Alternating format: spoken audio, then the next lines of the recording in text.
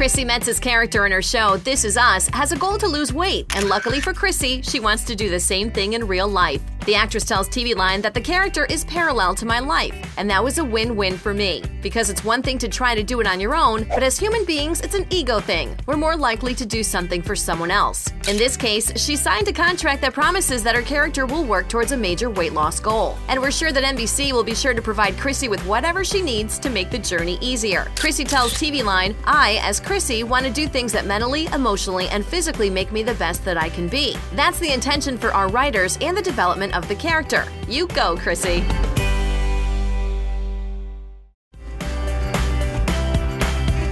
If you like our fire content and want to keep us employed, make sure to like and subscribe. You know you want to.